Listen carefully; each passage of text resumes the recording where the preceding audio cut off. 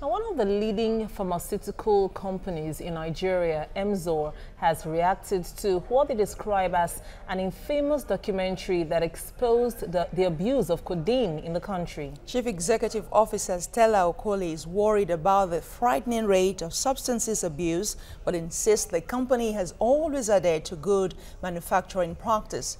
The response uh, comes after the National Agency for Food, Drug and Administration and Control, NAFDAC, lifted the ban on three pharmaceutical companies for the production of codeine syrup. Drug abuse is the problem for all of us. All must join.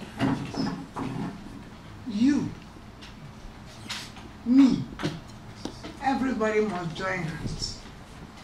Emzor has done a lot for the youths. We love the youths we have a lot of population here who are very young people.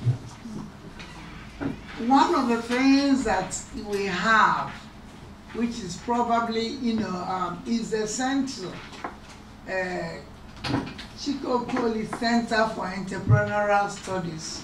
But unlike most countries, our demographic is so heavily skewed towards the youth.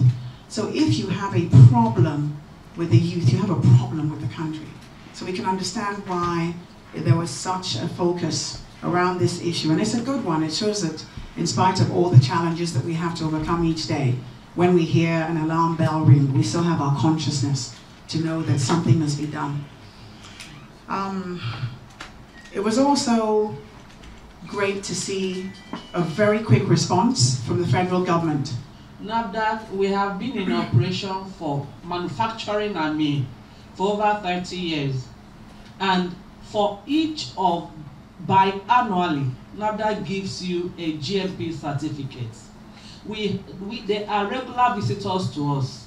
This issue, this, this product that we are talking about, we have permit for it.